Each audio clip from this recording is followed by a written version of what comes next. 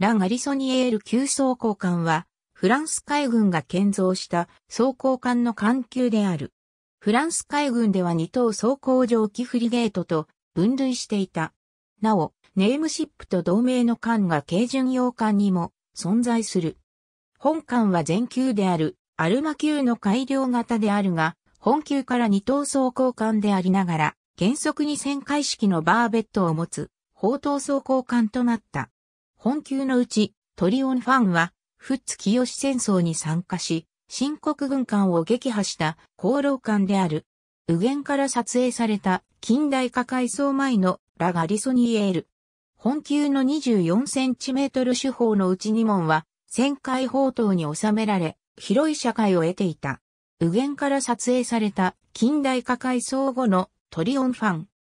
監視側面に吊り下げられた十字状の物体は、主位仮。船体の基本形状は全球と同じく監視水面下に昇格を持つ平、甲板型船体に3本のマストと中央部に1本煙突を持つ当時の一般的なフランス装甲艦の形態である。本級は4000トン台の小型の関係でありながら、コルベール級と同じく船体中央部に主砲の1859年型24センチメートル単装砲を収めた円形のバーベットを持つ。これにより従来の原則に訪問を持つ艦に比べ、前後方向への主砲火力を持つこととなった。原則の砲角内には24センチメートルが単装砲画で片弦に気ずつ計4機が配置されており、床面には円弧状のレールで24センチメートル砲の砲画を1000回移動させることができ、少ない門数でも方針を出した訪問を視点として砲ビブを動かすことにより広い社会が得られた。これにより24センチメートル砲を前後方向に最大2門、原則方向に最大3門を施行することができた。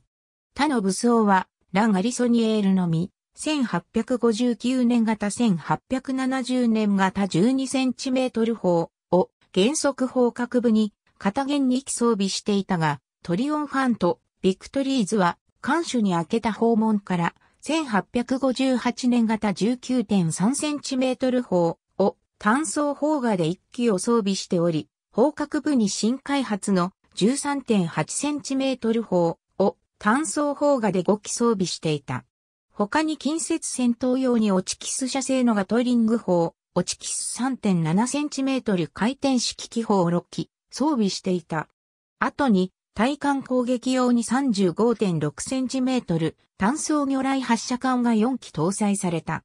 1868年7月22日にブレスト海軍造船所にて寄港。1872年5月浸水。1874年竣工。1894年解体。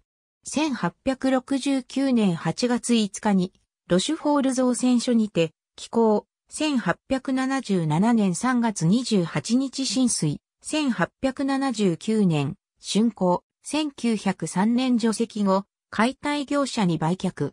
1869年8月5日に、トゥーロン造船所にて、寄港。1877年3月28日浸水。1877年、竣工。1900年除籍後、解体業者に売却。ブエノスアイレスで撮られた、ビクトリーズ。ありがとうございます。